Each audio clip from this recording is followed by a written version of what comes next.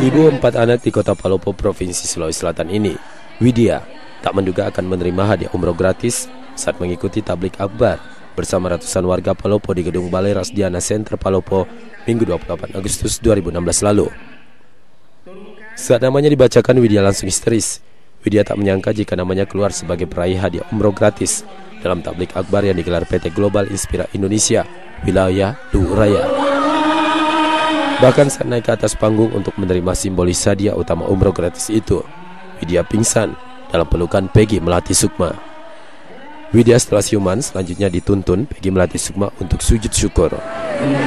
Tablik akbar yang diadakan PT Global Inspira Indonesia menghadirkan Peggy Melati Sukma sebagai bintang tamu.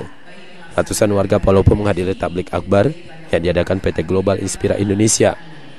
Perusahaan ini bergerak dalam bidang jasa haji dan umroh yang menyediakan paket hemat serta konsentrasi, mengelola paket tur domestik dan mancanegara. Sementara Peggy Melati Sukma dalam tablik akbarnya tersebut bercerita mengenai perjalanan hijrahnya tentang pergulatan yang terjadi sampai ia berada di jalan Allah Subhanahu wa taala. Peggy Melati Sukma menceritakan dirinya mulai berdakwah sejak tiga tahun belakangan ini dan sudah jarang menampakkan diri di layar kaca, termasuk tidak lagi menekuni dunia keartisan. Berhijrah tiga tahun ya, tahun ketiga saya berhijrah dan uh, menjadi aktivis dakwah.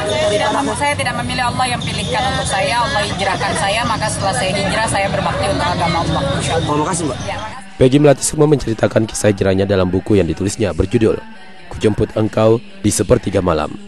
Dalam bukunya, Peggy bercerita tentang dirinya sebuah buku, yaitu kesaksian pergulatan batin Peggy ketika berhijrah, ketika meninggalkan dunia yang penuh dengan kemaksiatan, pergaulan bebas dan gemerlap harta.